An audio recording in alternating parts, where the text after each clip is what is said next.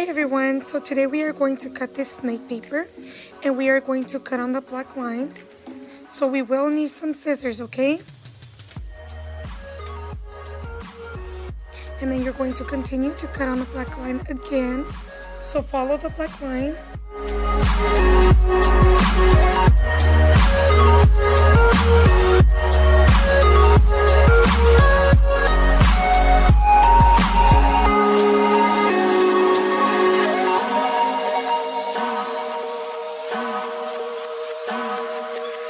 So